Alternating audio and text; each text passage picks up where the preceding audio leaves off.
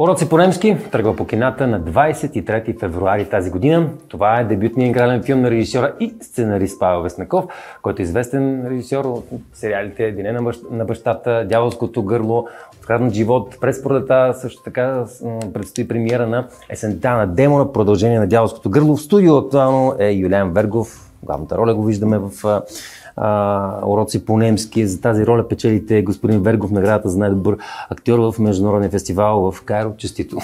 Първо, привет тук. Сега, засяга много интересни а, много теми. ми стана смешно, че предстои през пролета есента на демона. Есента на демона през, през пролета. Да, ами това, той започва от а, пролета да, да, да, да се развие до есента, сигурно ще свърши. А, защо става дума за един човек на 50 години, който се принуждава или е принуден, или си фантазира да замине? Защо трябва да заминаваме? Защо не трябва да заминаваме? Този въпрос вълнува ли ви всъщност извън ролята? Вълнува много. Що се отнася до младите хора, как а, биха могли да ги накараме да останат в България до такава степен. А иначе никой не е късно да потърсиш промяната на Никола са му се натрупали доста неща и единственият изход според него е да замине за Германия. А и не само според него, като гледате филми, като видим в какви ситуации попада и докъде е стигнал. Това е единственият му възможен изход. Баща, а, син, също така как се тръгва на 50? Има ли право един човек на 50 да, да, да избяга, да търси нещо ново, не знаеш немски? Мисля, че всеки един човек има право, независимо на каква възраст е, да опита да се случат някакви неща. Съдейки по себе си, аз когато реших да кандидатствам да се занимавам с актьорско майсторство, бях на 28 години. Дартак. И имаше, да, и имаше, точка на... да, и имаше, а, по това време мисля, че го промениха после, възрастова граница, под която, над която не може да се кандидатства в, в ВИТИС. И сега надфис. И аз затова отидох в Любен Гройс, там нямаше възрастово ограничение. И слава Богу, че отидох, защото а, учих при Цветана Манева. Васил Банов играе вашия баща, Елена Телбис. Изключителен актьор. Стевка Янорова, Герасъм Георгиев Геро. Всъщност целият актьорски състав. Дори имаме и рапър, Огнян Павлов, Фар, от една страна, ако четем, споделям си личното ми впечатление, като прочетох и си казвам, леле, ето, всеки го по нещо, всичко си. От друга страна, ето и вие казвате за младите хора, които трябва да останат в България, не е ли това темата, която засяга най-много всички? почти болно много чуваме истории за родители, които просто чакат младите да се върнат. Почти болно чуваме за млади, които а, изчезват навън с голяма радост. Пък има и сериали а, телевизионни, които показват за връщащите се от чужбина а, хора. И всъщност този актьорски състав, чисто възрастово mm. и, и поколенчески, някак си е нужен.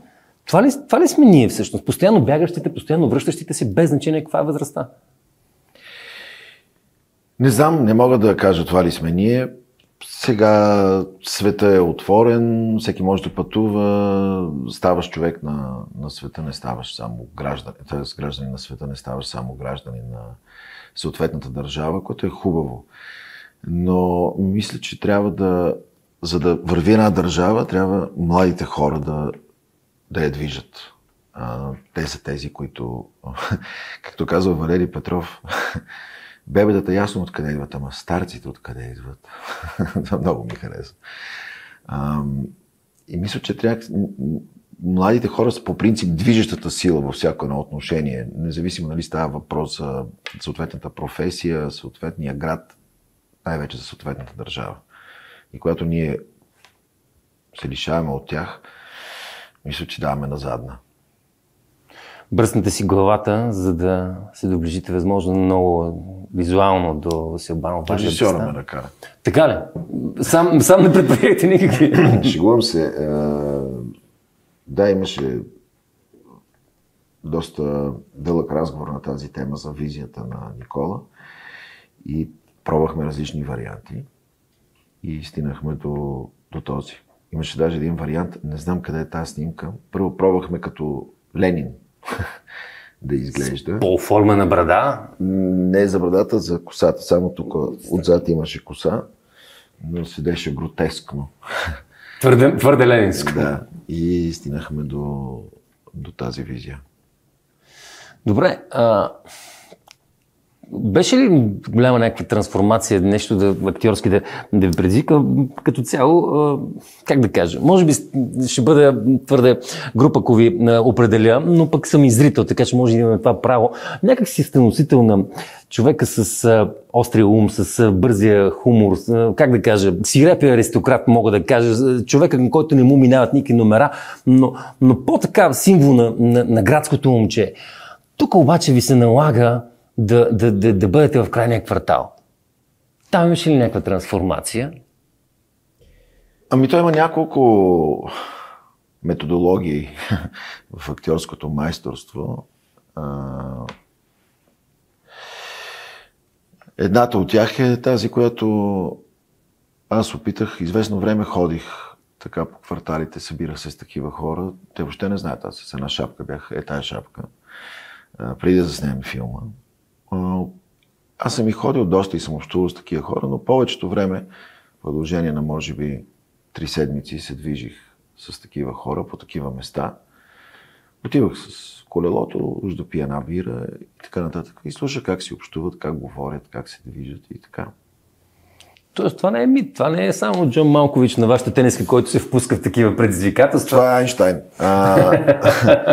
Това може да бъде който си иска, Джон Малкович в случая. Айнштайн. Въпреки, че има и друга методология, това исках да кажа, на... когато са снимали маратонец с Лоренс Оливие и Дъстин Хофман. Дъстин Хофман е правил като мен, ходил да тича преди сцената. А Лоренс Оливие му е казал, е, не би ли се играе, бе, младежи? Не, просто го изиграйте. Нали, няма нужда. Не е нужно да... да се задъхнеш, не е нужно да бягаш. Да, но всеки си избира как да, да атакува. Айнштайн ли е това или е Джон Малкович? Кой ви е любимият актьор? Любимият актьор не мога да се спра само на един. През годините откривам най-различни превъплъщения на много хора. Последно време съм невероятен почитател и гледам по няколко пъти филмите му и си крада някои неща, трябва да си призная, на Мац Микелсен. Можем ли да, да искаме прошка? Тук има много конфликти, които вярвам, че ще засегнат и ще развълнуват и докоснат в емоционален план а, а, много хора. Бащата, онзи без цялото семейство, който просто е бащата на децата, сина с конфликта и подозрението от баща си и така нататък. Можем ли да искаме прошка? Не е ли това решението на който и да е семейен, емоционален конфликт, да кажеш, нищо не става от мене, объркал съм се страхотно, рукнал съм всячески, моля да се прости. Не искам нищо в замяна, не мога ти дам нищо в замяна. Нали, това е прошката, в крайна сметка, не е сделка. Можем ли да прощаваме? Можем ли да искаме прошка? Ако не можем, трябва да се научим. А, им преди да прощаваме. А е задължително да искаме прошка. Интересното в, в случая с Никола е, че начина по който иска прошка. Не може да намери думите, не може да превъзмогне себе си. Много е трудно това нещо. Има много истински, защото спомена децата, има много истински реакции и много истински случки в този филм. В един от ужасяващите моменти за мен, буквално смисъл думата ужасяващи, когато той пита дъщеря си, обичаш ли ме, тя му казва малко. да. и мисля, че прошката е едно от много важните неща, изпътница на любовта. А не е ли важно поне малко да се обичаме и да сме откровени? Много. Е много да се обичаме и когато допуснем грешка, да поискаме прошка, съответно и да дадем прошка. Има и такова нещо заложено и в а, нашите традиции и религия. В урод по-немски последната си роля прави пълнометражен филм на Йосиф Шамли, като го гледаш, какво изпитваш пак сега? Жив ли е още? Яд ме. Яд ме, че, че го няма.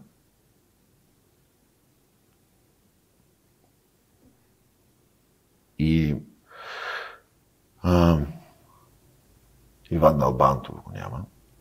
Също. Преподавател на много студенти в НАФИС.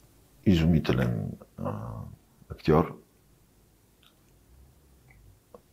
Така. Мъчно ми е, разбира се. Липсва ми. А, но... Когато... Не знам какво да кажа. А, ми аз пък ще те питам, защото актьорите... А... Учил съм в надпис, но не, не съм в това стадо и го знам а, контрастно и го казвам за това вас, актьорите. Трябва да имате много пътища в много аспекти в емоционал, в сърцето си, в съзнанието си, в ума си, в истории. А, любовта към живота, ценността към живота, този път има ли го всеки актьор? Омразата към живота и края на живота. Трябва ли да го познава този път? Вкоренен ли е във всеки? Защото там е и страха от смъртта. Ако имаш къде си тръгнал да откриваш други характери? Аз не мога да говоря от името на всеки актьор, дори не мога да говоря от името на някой друг актьор, който да бил той. А... Аз много обичам живота. И, както се казва в... Това ми е любима реплика в едно представление неудачници по Максим Горки. Аз обичам живота и умея да му се наслаждавам. Животът е чудесно нещо, разбира се, за този, който гледа на него приятелски и доверие. Към живота трябва да се отнасяме приятелски и просто трябва да го гледаме с прости детски очи. А, това е лиричното отклонение. А иначе а, тази професия, буквалният, дум, буквалният смисъл на думата, съсипва, но за нея няма такива, както в други професии се дават кисело мляко и някакви такива неща, които да могат да те а, спасят. Тук си отиват безвъзвратно. Може да звучи за някои хора високопарно, но той така безвъзвратно си отиват много неврони. Отива си част от себе си, си част от теб с а, всяка една роля.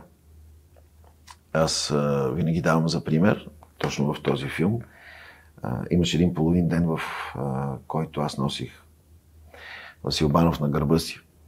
И всички се притесняваха за мен. По принцип екипа направи този филм с много любов и голяма, голяма и много желание. Голяма част от а, това филма да стане добър такъв какъвто е, е благодарение на целия екип, не само на актьорския състав, не само на режисьора и на оператора, на всички до последния човек, които се занимаваха с този филм. Та всички те ме питаха и се притесняваха за, за моя кръст, за това как носа. Васил Банов беше достатъчно, той е изключително професионалист, но и достатъчно ми помагаше. Той се беше вкопчил, той самия се стягаше, за да а, ме облегчи. И когато свърши снимачен ден, а, ми казаха пи аспирин, не знам какво да утре да си, да нямаш мускулна треска. На други ден аз нямах абсолютно никакъв проблем. Аз си спортувам доста. Но след това снимахме една много, след няколко дни снимахме една много тежка сцена, емоционална, с, също с Вас Обанов, в която само седим и си говорим. Няма никакво физическо действие. Само седим и си говорим. И преминаваме през някакви неща. На следващия ден, като станах, бях на ръба да не отида на снимки. Бях наистина, все едно са ме били, били, били, били, били. Цялото тяло. Не мога да, си, не мога да стана от леглото. Тоест, това е от цялата тази емоция, която се излява предишния ден. Пак казвам, може на някои хора да им се струва смешно това, но това е самата истина и може да ви каже всеки един от актьорите със сигурност. Ето тази сцена с е, Гера, който каза, какво не му харесваш?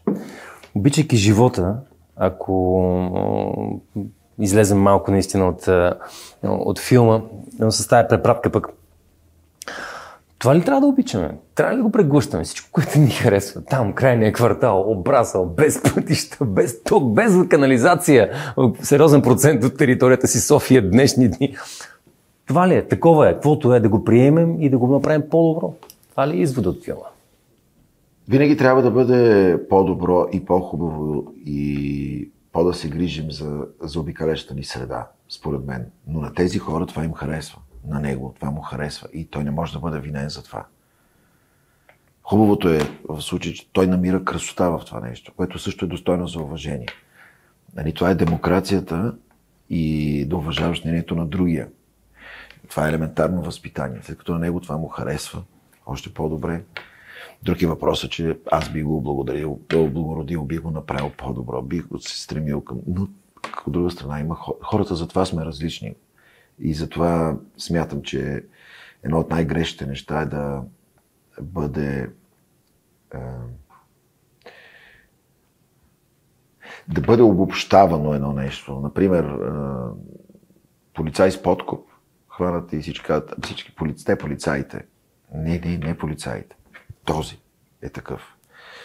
Един актьор е, е лош, нещо не се е справил. Ами те актьорите, ама не можеш така да обобщаваш. Това не е стадо, което всички са овци. Всеки е различен. Хората са различни и ти трябва да уважаваш мнението, начин на поведение на всеки един от тях. Може да не го одобряваш, трябва да го уважаваш. Уважението няма нищо общо с одобрението. Благодарности много за... Смятам, много голяма част от а, изказаните ви мисли са част и от а, ваша философия. Излязохме много... Както и за политиците също. Ние да, и, отивам, са... и отиваме и на там. Тук ще спрем нашия разговор, защото съм сигурен, че хората са кликнали на това видео, за да видят повече и да разберат повече за, за този филм. Политиката, за съжаление, и а, различията ни там. Не смятам да влизам в тази полемика, просто дадох за пример, защото а, аз познавам лично много млади хора, които сега влязаха в политиката и смятам, че са много свестни. И повечето от тях са не много популярни. Което може би пък ни оставя някаква надежда, защото популярните не се ползват с огромно доверие на... Ами те си хора казват нещо, когато имат, да кажат, когато имат какво да кажат. Илиан Вергов студио актуално за е, филмът Уроци по немски, в който няма много уроци по немски, но има други житейски уроци, които съм сигурен, че всеки от вас може да прочете и да асоциира по някакъв начин на себе си. Коментарите ви може да оставите и са добре дошли по това видео.